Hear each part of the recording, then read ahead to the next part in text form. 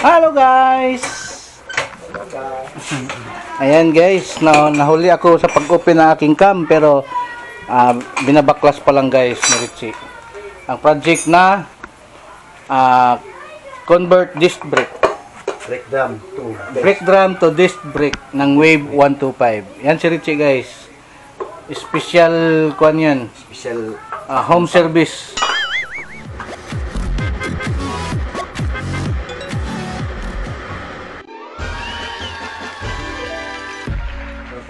Channel. Ayan guys. So, binaklas na lahat guys. Tinanggal niya para susukatan yung distansya ng drum papunta sa disc disc brake. yung banani mo convert. Mga mahulog sa purus washer-washer. Washer washer. Ah, Ikan tayo.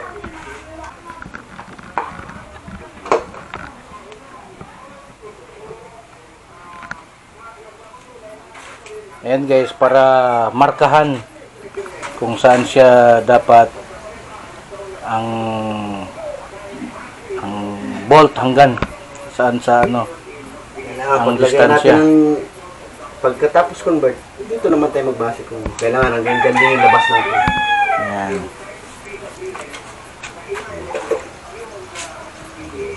Okay, okay, okay, okay.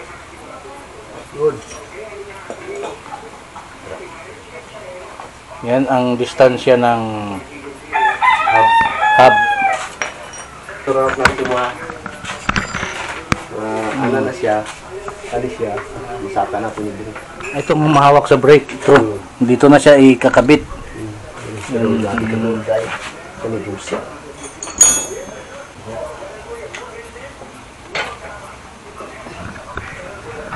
Ayan siya ni.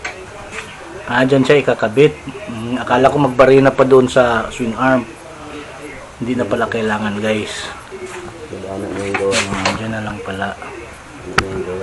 So dito na ang bolt. Yun yan. Bolt dito. Dito ng barinahan. Ana oh. Para hindi tabingi. Na. Ito yung bangga sa tambutso. Bila. Kani, kani, kani. Hmm. Wala na tayo. Ano siya. Itong sample layout niya na magiging kalabasan. Yun. Sample layout.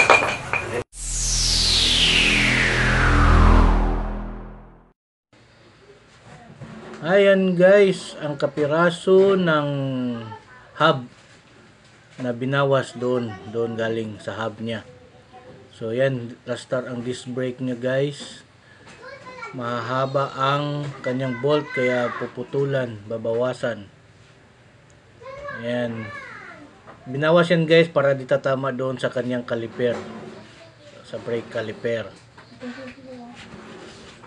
Yun, yun. Mahaba ang bolt niya guys, kaya puputulan yan. Madali lang putulan ni Sander. Ayun guys, ipapakita ko sa inyo itong hub na nakabit. Ayan, nakabit na ito guys, nalagyan na ng bolt. Yung mahaba na bolt. Ayan.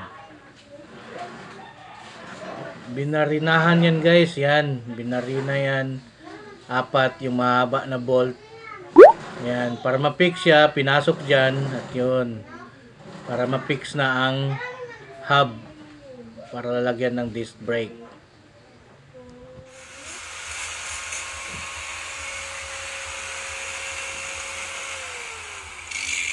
Ano natin wala na na na pagkatagyan na dito. Pisto na. Yan guys, pinutulan namin yung bolt para pag fit dyan.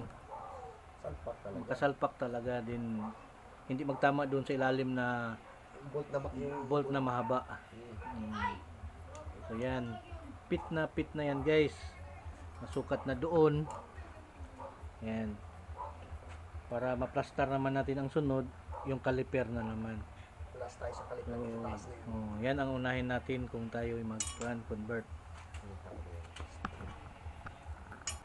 So, yan si Richie. Guys, as Mark, yung doon sa rider sa may Santos, yun ang pwesto niya. Pwede nyo sa hilain, i-home service. Kung gusto nyo na magpa-convert ng mga XRM pwede, pareha lang ito, XRM at Wave. Yan, kontakin nyo lang siya. Basta may pyesa lang kayo. So, tingnan nyo doon sa unang unang vlog ko guys, yung mga pyesa na mga pangangailangan nyo kung bago kayo magpa-convert, magpa-disc brake. Kita nyo doon sa part 1 ng disc brake conversion, part 1. Para makita natin sa inyo. Ikot mo daw ni. Kung, sige.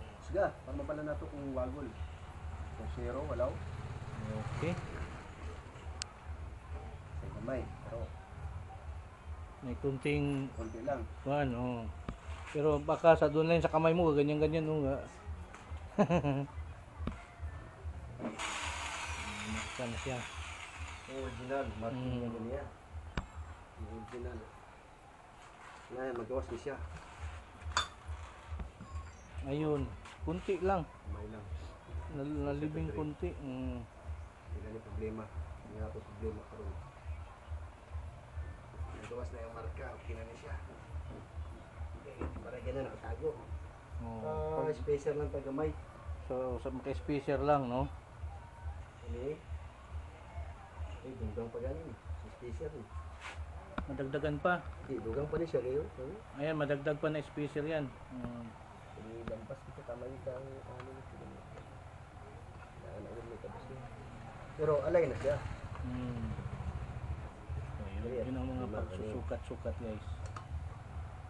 Kulang ka diri. Kulang pang spacer dyan. Sa mga kulang. Baka makadagdag ng spacer.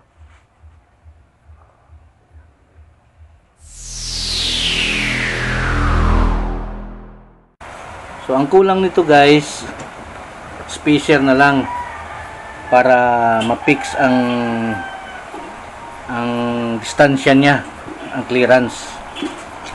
Ayan. Naka-brake fluid dira. Nga ah. Ayan guys. Wala nila giinom ang brake fluid, ito mahurot. Wala nila giinom, di mahurot. Shit. Ah, dito. Ayan guys. Sinander yung dito niya nakuan. Side mirror bracket niya. So kailangan kung mag-convert kayo nito, meron kayong barina o sander, ganyan.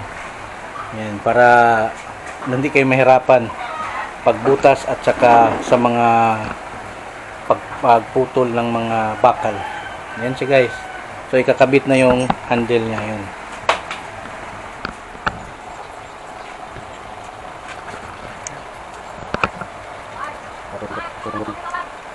Bakal po.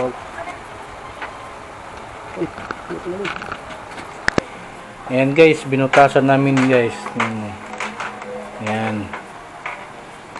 Ayun, plaster na masyado guys. Ayan, naplastar na. So, ginapit na lang yung dito niya guys. Yung casing niya. Then, okay na ito guys. Itong left hand fan niya, brake. Ito, andito na ang hose. Yan. Yan. Papunta dyan sa baba. Yan. Dito siya. Pero parang nakakuan lang siya ba no? Nakatagilid. Tambutso. Hindi naman siguro yan mapakan. Yan, tinanggalan namin yung pedal dito guys. So, ang ginawa, yun, kung mo guys, yan o. Ayan. Gisander na lang guys, pinutol. Kasi dumikit na yung ang bakal doon sa center stand. Kaya yan. Nakadikit na siya. Mm. Yan. So dito na kinabit guys. Makita nyo. Yan. So yan. Naka-disc brake na. Dito po na. Yan. Ready na. Ready na guys. Okay na. Na-bleeding na yan guys. Yan ang plastada niya. Yan. So walang waggle yan guys. Walang wagger-wagger. Hindi na nagwagal-wagal. So yan guys. So, so pinipit na lang namin yung Bearings. cover dyan sa fairings niya. So,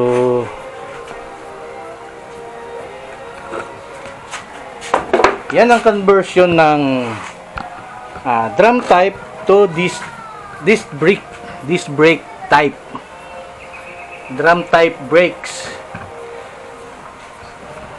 nagiging ngayon nagiging disc brake na siya yan. So dito lang siguro ang hanapan ng kuan kung paano ang hindi pa ito final guys kung paano ang plastada niya. So at least okay na siya magamit na ganyan. So, di- dito na lang ito itong kuan niya hose niya. Os na lang, os. ang host nyo na lang yan. Itong kubera natin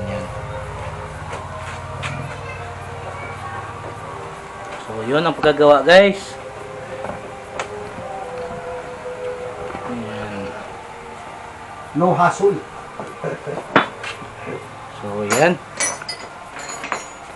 subukan natin ngayon papanda rin